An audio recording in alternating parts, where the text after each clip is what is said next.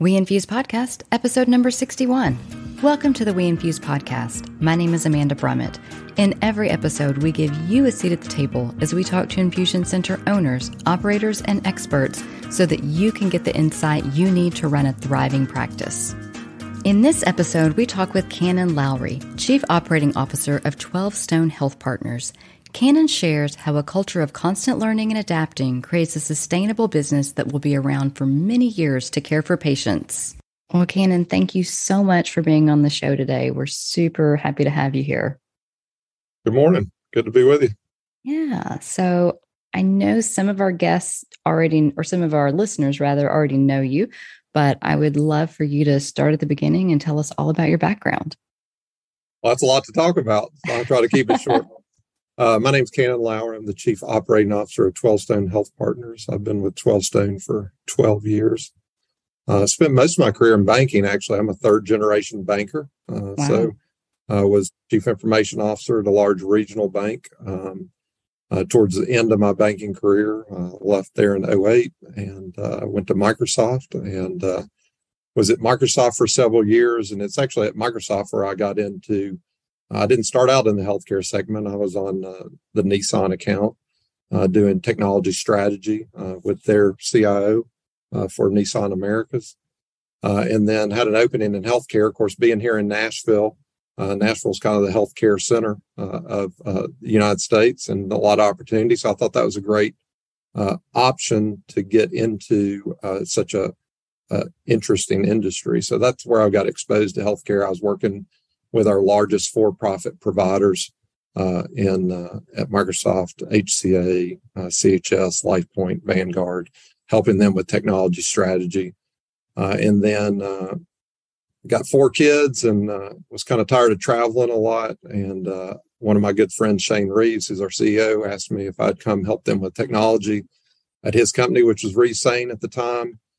Joined them in 2012 and uh, started growing. We're a multi-division company. We've got we had retail pharmacy at the time. We had durable medical equipment. We had respiratory. We had enterals. We had home infusion. Uh, since that time, we started a specialty pharmacy. We got out of several of those businesses. Uh, we started a infusion center division. We started a home health division. Uh, we got licensed in all 50 states for our specialty pharmacy and dual accredited with URAC and ACHC and uh, brought in private equity in 2015, uh, divested the retail pharmacy. That's when we changed our name to TwelveStone Health Partners. So, uh, and now we've got we'll have 20 centers in four states at the end of the at the end of the year. So, we've been busy over the past 12 years that I've been here, but it's been a lot of fun. Wow, that's incredible. Well, I have a couple more questions about you, and then I want to dive into TwelveStone in sure. some depth. Um, and love your background in Nashville. I'm HCA alumni here, so always okay. appreciate that. Um, a lot of those in Nashville. You right? know, there's an interesting the Nashville Healthcare Council. I don't know if you've seen it has a chart of all the different companies uh, that originated and kind of where they originated from, and it's amazing how many of those healthcare companies and healthcare technology companies in Nashville originated. You know, uh, from HCA. So oh, what a what a uh, what a great thing that's been for uh, the national marketplace, but the United States as a whole. Great organization. Yeah, fascinating. We'll have to go check that out.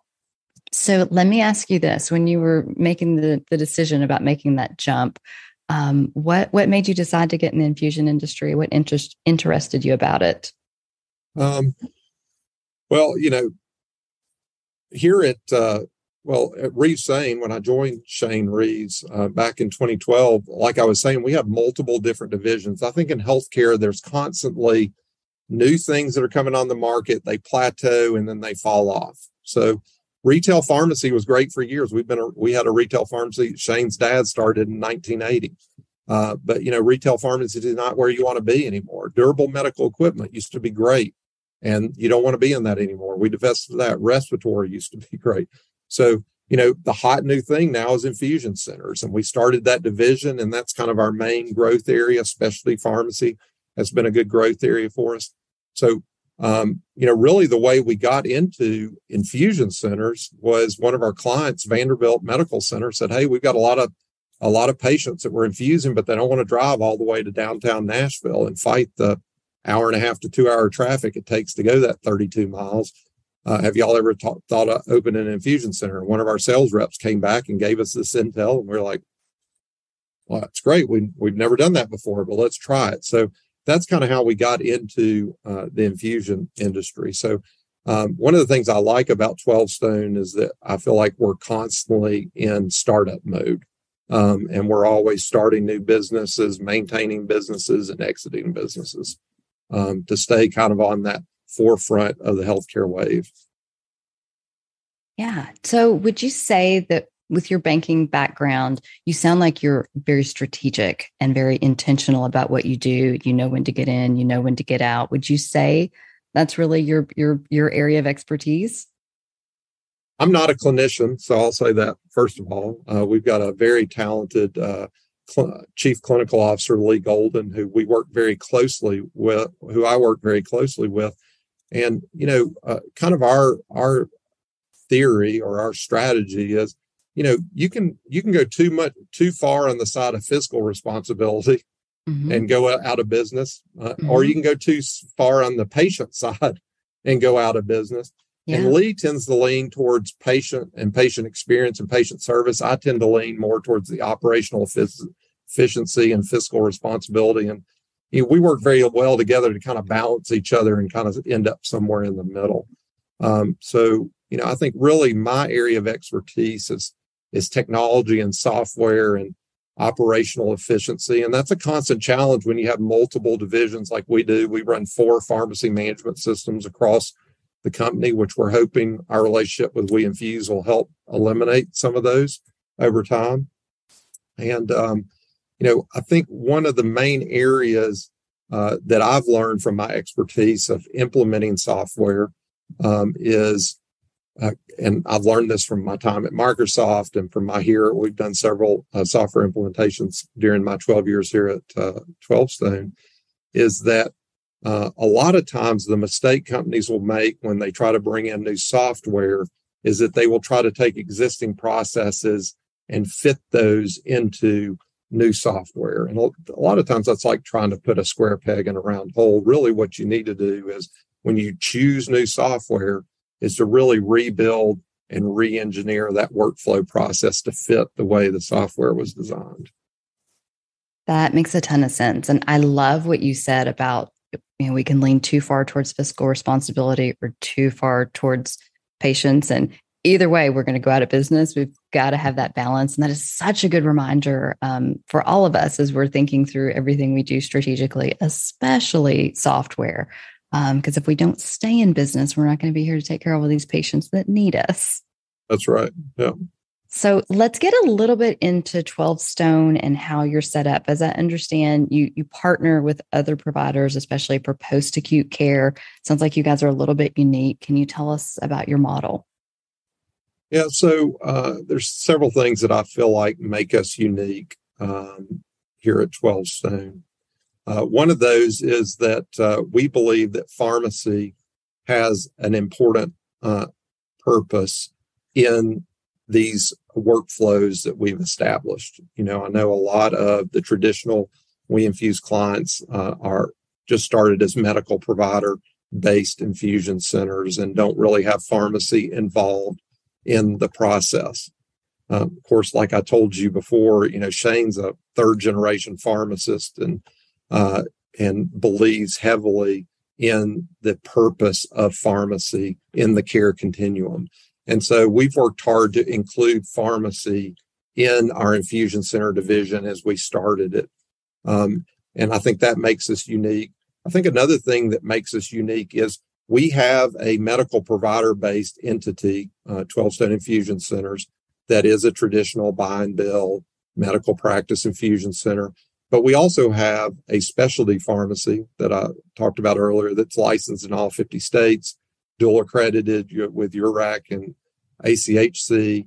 And that gives us access to a lot of these specialty provider networks uh, that give us the ability to either buy and bill the drug or to provide drug from our specialty pharmacy and ship that into uh, one of our infusion centers or ship it directly to one of the specialists uh, that we work with.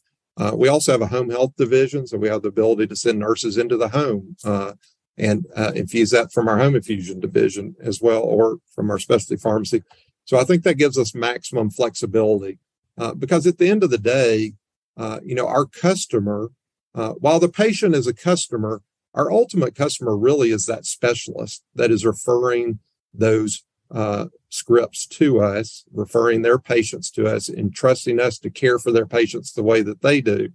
Uh, and we need to give flexibility uh, to that provider to serve them in any way they see works best for their patient. And then we also need to take great care of our mutual customer, which is the patient and their caregivers. Yeah, that's brilliant. I I love what you said about making pharmacy part of the process in the care continuum. Um, I think that we really, really, really miss out on a lot of brilliance and great patient care and such a good resource if if pharmacy is an afterthought. Um, so I think that's a great way to set up your model on the front end. Um, really, really smart, and all of that flexibility and the ways you care for specialists and their customer and your customer, the patients. Such a such a good model. Um, wow, we could we could talk all day. Just how how, how does TwelveStone do all that? Um, Excellent, absolutely. Yeah, for sure. So I I understand that you're also part of the Infusion Technology Advisory Council um, for We Infuse. Can you tell us what that entails and what you do there, and how you bring your software expertise into that? Absolutely. Yeah, I was really honored to get asked to serve on the ITAC. Uh, they've got a great group of uh, ITAC board members that have been asked to volunteer their time to help provide uh, industry expertise uh, to uh, make We Infuse better. Uh, and, you know, uh, you know, one of the things that I mentioned before is that we're currently using multiple pharmacy management systems across our divisions, and that creates challenges in training and, and flexibility for staff. And in a lot of areas, we've had to create dedicated teams for different divisions because it's just so difficult to be processing in multiple systems as you're trying to uh, efficiently operate on a day-to-day basis.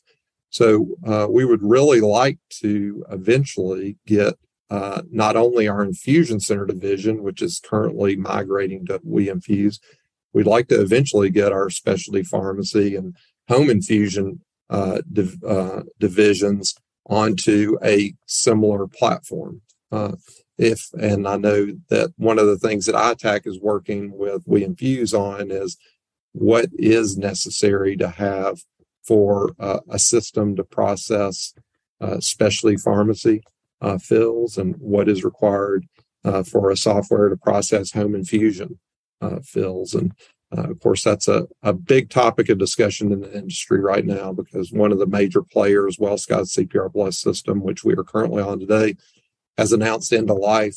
Uh, so several customers like us are having to make decisions on what are we going to go to for the different divisions that are currently running on CPR Plus. So we're in the process of evaluating that for specialty pharmacy and for home infusion in the future.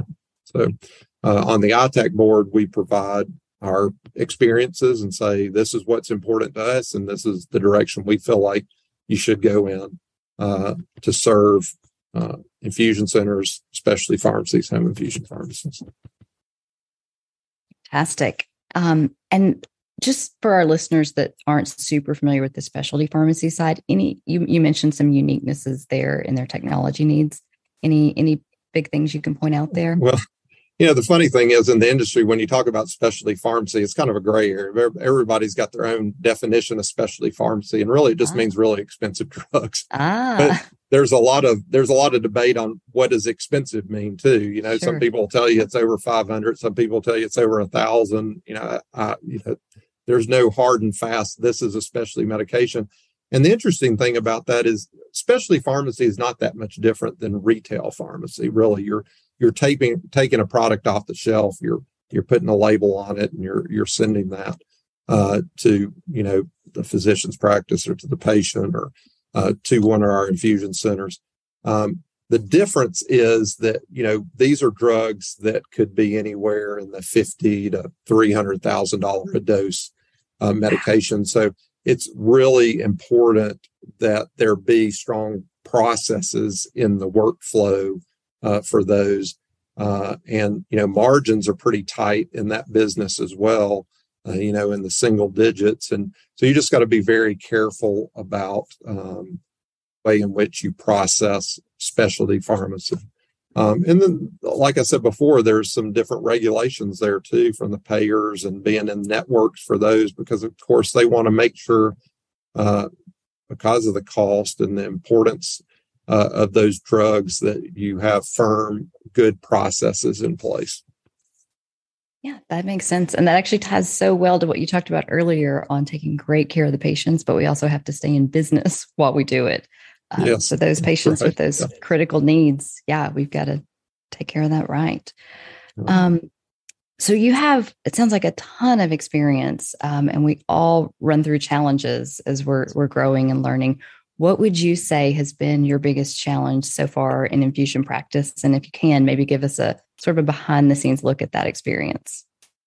Absolutely, I think um, our biggest challenge, and and of course, this is this is coming from a pharmacy uh, that got into medical provider based infusion centers.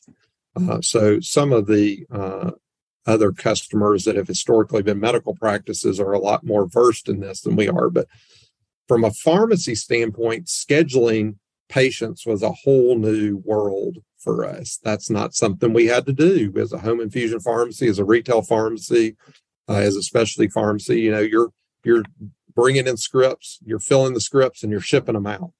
Um, when you start infusion centers, scheduling becomes critically important.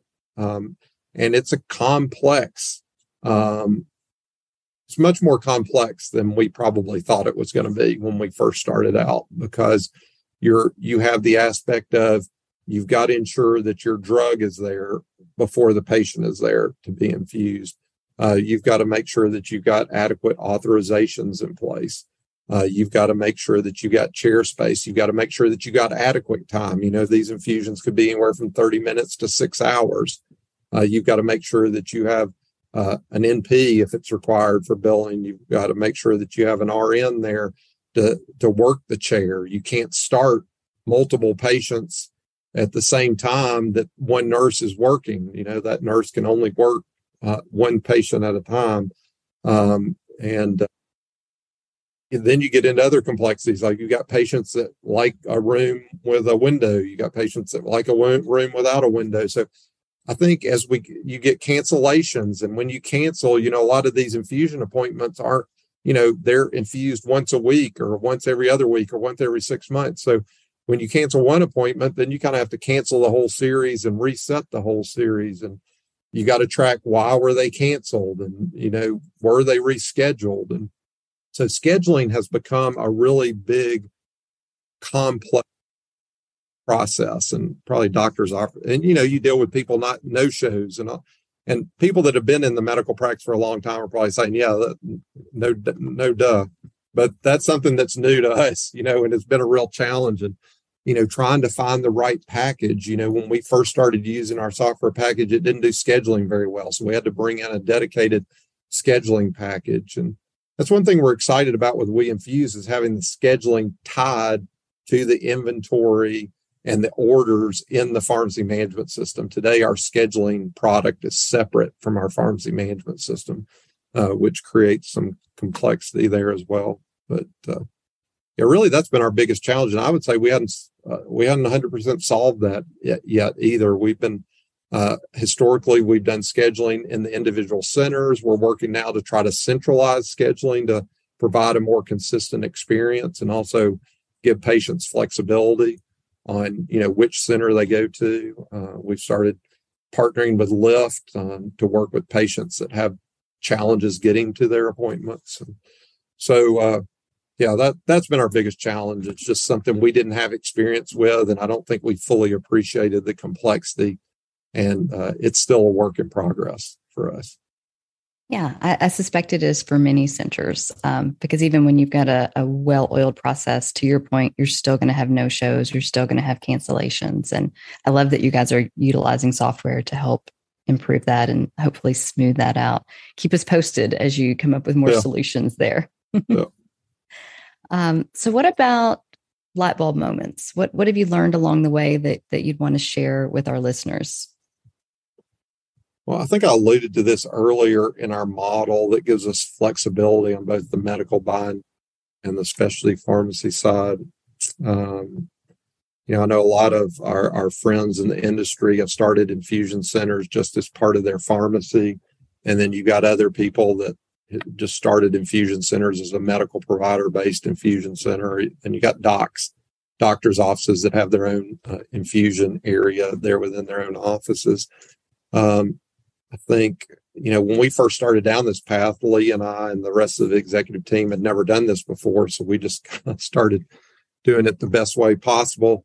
Um, and Reese and Brian uh, at We Infuse were instrumental in that. Uh, we actually were on We Infuse when we first started uh, the infusion center division, and, and they helped us get it started. And we made the decision to create a separate entity that was a, a medical provider based infusion center and uh, then we started the work on building that specialty pharmacy and getting licensed in all 50 states and dual accredited. And I think having that dual capability is somewhat unique uh, in the industry and gives us flexibility. So I don't know we fully realized uh, the benefits of doing that early on, but I think as we got into it, we're like, wow, okay, that that really is a model that works very well and gives us flexibility that others don't always have. Yeah, that makes a lot of sense. So it sounds like throughout here, I kind of hear a theme of, of process optimization and maximizing an organization's efficiency, and that um, you sound like you learn quickly and adapt as needed. Um, any specific tips in that realm for infusion center operators?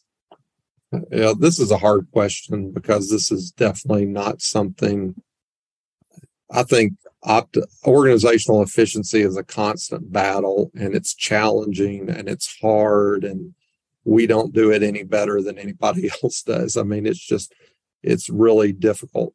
Um, one thing I will say, or two things that I'll say, however, that I do think benefits us is I'm a big believer in iterative steps. I think a lot of people, when they're making changes, try to get to a hundred percent solution. Uh, before they move forward. And I think a lot of times you don't know what you don't know. And until you start doing it, you really don't know.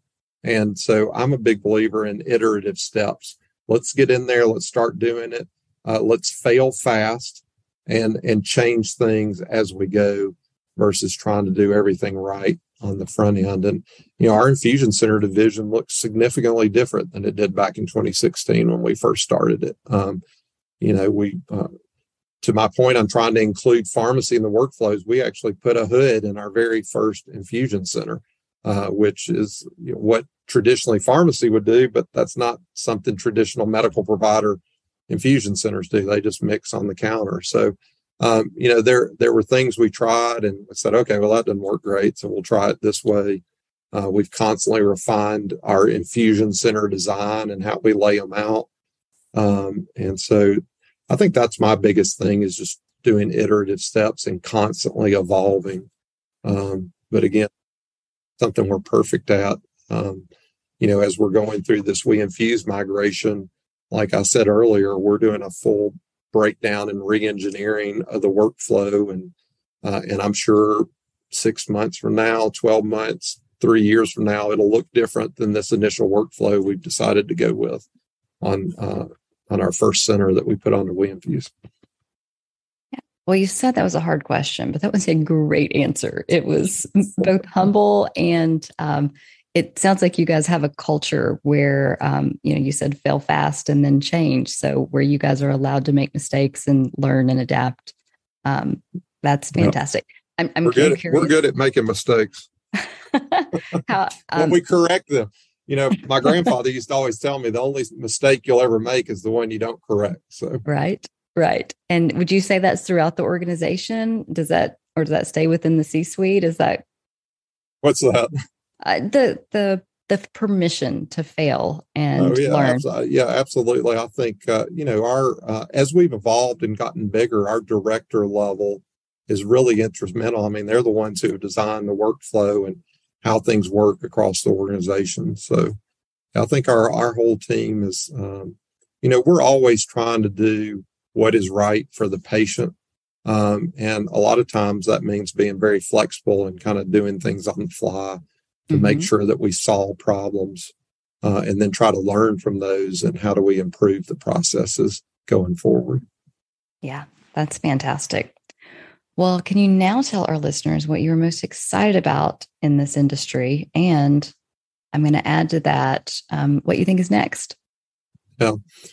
One of the things I really like about the infusion center business versus maybe some of our more historical businesses is it's a much more intimate relationship uh, between our team and the patients because they're coming into our centers and uh, they're getting uh, you know touched by our staff. And uh, you know we're a big believer in healing's not just physical it's spiritual as well. And we have a corporate chaplain on staff that calls every patient's three days coming after coming on service to check on them and and offer prayer with those patients if they so choose. And um, you know that's very impactful to our patients and it's impactful to our staff. You know in traditional pharmacy you're somewhat removed because you're shipping that off into the home or, or, or shipping that to the patient. So that that's been really rewarding. We've got some great video testimonials from some of our patients. Howard uh, is one of my favorites uh, uh, videos on our website and just really touching on what this impact of receiving this therapy from our infusion center has meant to him. Uh, you know, having our infusion centers outside of those urban areas, closer to where the patients live, provide great service for them. Um, and then, you know, I think there's some amazing things happening uh, in with new drugs that are coming out, like Alzheimer's, uh, the new Alzheimer's drug that's coming out later this year. Um, and uh, I, I think the sky's the limit for some of the things we're going to see in the next five, ten years uh, that will be very impactful.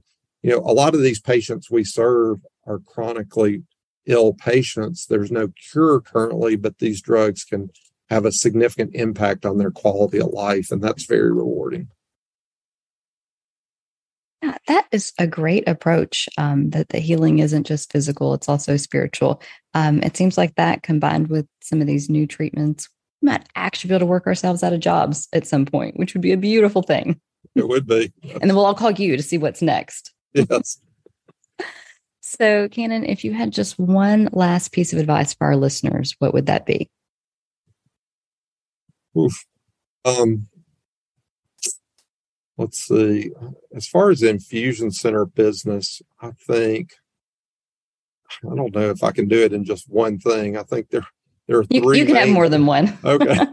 there, I think there are three main things. If I were to go back and talk to me and Lee in 2016 when we were first working on the uh, starting the infusion center division, um, that we probably should have put more time and attention and focus on. And not saying we do a, a horrible job at these things, but we probably could have done a better job over the past several years you know, I think first of all is purchasing. Purchasing is so complex in this industry and so important.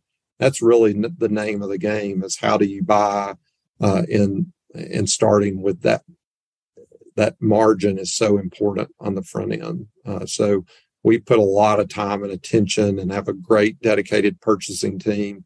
Um, but you know we've learned through mistakes, uh, like we were talking about earlier there, on things we've done great and things we haven't done great and uh, are really making a lot of um, movement there now. But that that's a key piece of this game.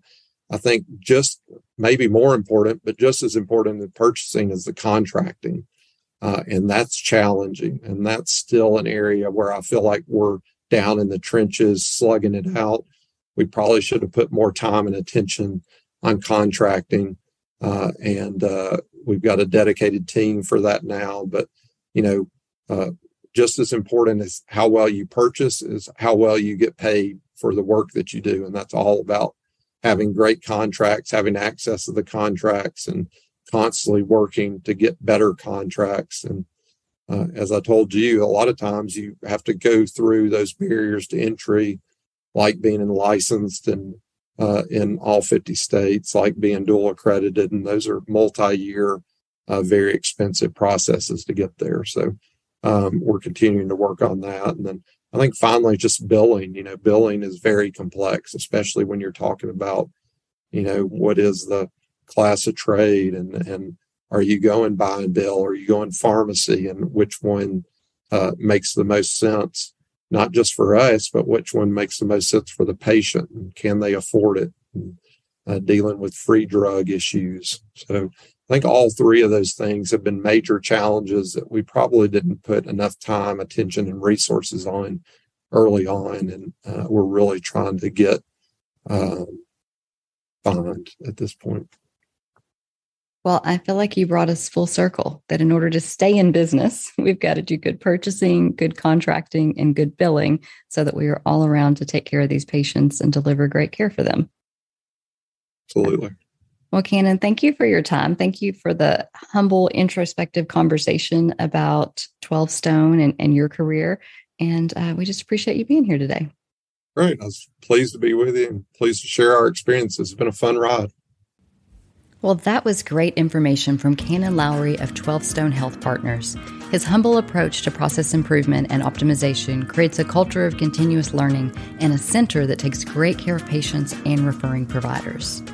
And if you aren't familiar with the WeInfuse software platform and RX Toolkit's web based resources, I hope after listening to Cannon talk about software and how important it is, you'll schedule a test drive of these softwares. They can save you time and money in your practice while making infusions safer for patients and for caregivers. My name is Amanda Brummett, and we'll catch you in the next episode.